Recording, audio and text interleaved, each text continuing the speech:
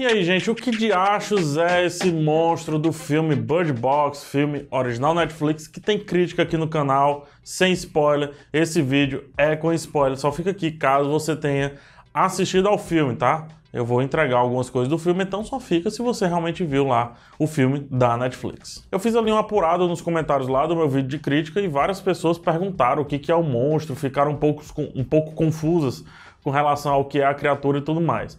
Então por isso que existe esse vídeo. Porque algumas pessoas pediram, outras sugeriram e várias vão reclamar que esse vídeo aqui existe. Só que para quem vai reclamar, a dica é não assistir, tá? O pessoal que não gosta dos explicados e tal, a dica é não assistir. É, e para quem pediu e quer, o vídeo vai começar agora. A, a, minha explicação não é escrita em pedra. Você pode até deve interpretar o filme de várias formas, de outras maneiras e comentar aqui embaixo com a sua visão, tá? Esse é o tal do poder da arte, né? Ela não carrega uma verdade, mas carrega várias verdades e várias mentiras também. Mas enfim, Vamos lá agora sim ao vídeo, tá? Como não foi mostrado no filme, o monstro pode ser muita coisa. Pode ser uma entidade cósmica, pode ser um alien, pode ser, é, sei lá, pode até nem ser de fato, nem existir de fato, né? E pode ser isso tudo junto, coisa que eu explico já. Quais informações a gente tem? Sendo bem preciso e bem factual. A informação número um é, o monstro afeta mentalmente as pessoas, fazendo-as cometer suicídio, ou seja, o monstro, é, a visão, a entidade, quer que seja, leva as pessoas ao suicídio. É como se, ao ver a criatura, o cérebro da pessoa fritasse com a informação, ou com o tanto de informações, ou com a revelação, é como se as ideias fossem colocadas é, e, e, e, tudo levasse a pessoa a tirar a própria vida. Né? O filme ainda flerta um pouco com a ideia de ver o caos, aquele lance de ver a verdade, e por isso estou vendo o caos e etc. E está lá essa informação bem explícita.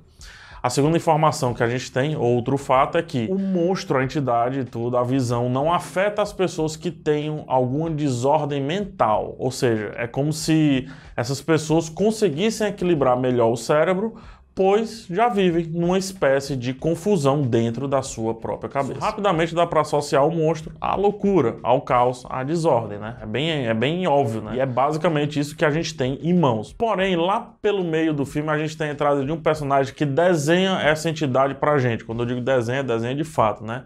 E alguns desses desenhos me lembram muito o Cthulhu, ou Cthulhu, ou Cthulhu, ou Cthulhu, né? O personagem do HP Lovecraft criado lá na década de 20. E para isso eu preciso explicar o que de achos é esse Cthulhu. É um ser cósmico que aparece em várias histórias do Lovecraft, mas que também já foi utilizado diversas vezes na cultura pop, porque ele já está em domínio público. O bicho pode e deve ser muitas coisas. Essa é a ideia central ali do Cthulhu, né? Até mesmo o nome, escrito aqui dessa forma bizarra aqui, é de difícil pronúncia e você pode chamá-lo de diversas maneiras, como eu estava brincando agora há pouco. Mas, basicamente, ele é associado à loucura e desordem mental, pois, quando visto, causa um efeito na mente da pessoa, levando ao extremo. A pessoa pode ser afetada pelo maior medo, pode ser afetada por uma realidade criada, pode ser afetada por esquizofrenia, ou por um sentimento constante de perseguição, ou por isso tudo ao mesmo tempo agora. E ele é todo amorfo, né? ele é todo complicado de descrever. Por mais que existam diversas imagens do monstro, ou pelo menos da forma mais aceita dele, né? ele já foi descrito de várias formas diferentes, de vários tamanhos, de várias maneiras, de maneira um pouco mais espectral, de maneira um pouco mais física e por aí vai. Muito provavelmente o autor pode ter se apegado aos contos de Cthulhu para basear-se em como o monstro afeta as pessoas. Eu não estou dizendo que de fato é Cthulhu, mas o autor, como é de domínio público e como é muito conhecido, pode ter se apegado ali aos contos de Cthulhu, no caso do HP Lovecraft. Né? Isso fica muito claro no livro, que o monstro acaba sendo um pouco mais descrito, né? As visões acabam sendo mais descritas porque no filme isso não aconteceu. Eu acho que até escolher não mostrar no filme e escolher descrever de várias formas no livro bate justamente com essa ideia de que o bicho pode ser diferente para cada pessoa. Para Mallory, por exemplo, ele aparece como uma voz. Afinal, quando a vemos no futuro, que acontece o lance das vozes, já se passaram cinco anos.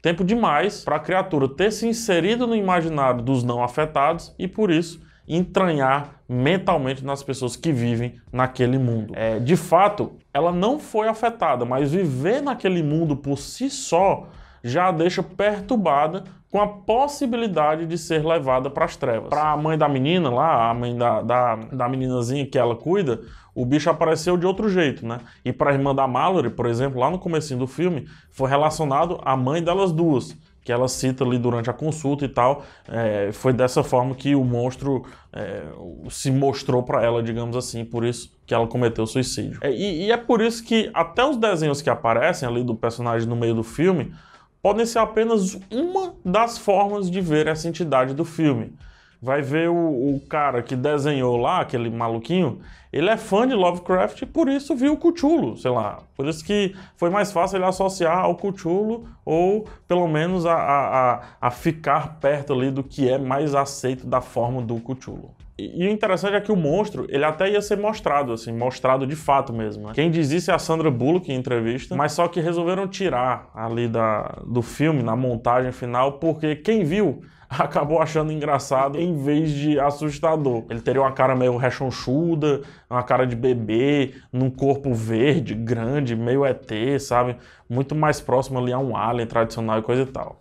Felizmente tiraram, e daí eu posso interpretar como um cuchulo da vida, né? Amorfo, diferente para cada pessoa que o encara e por aí vai.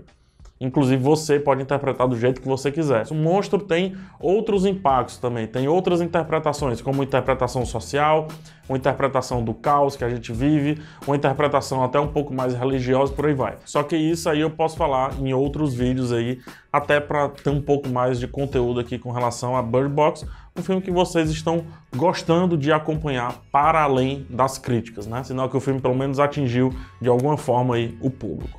Comenta aqui embaixo, me diz aí outras dúvidas que você ficou com relação ao filme, me diz se você concorda ou não concorda, que outras coisas você vê com relação a HP Lovecraft, Cthulhu e por aí vai, que outras referências você vê. Você que lê o livro, faz aí um comparativo para a turma, ou seja, faça os comentários daqui, um real fórum para nos ajudar a compreender cada vez mais esse filme, não só a mim, mas a todos que vierem para o vídeo e vierem assistir, e forem, melhor dizendo, ou foram assistir Bird Box. É isso. Se gostou do vídeo já sabe, joinha, se não, dislike. Um beijo em todos. Até a próxima e tchau.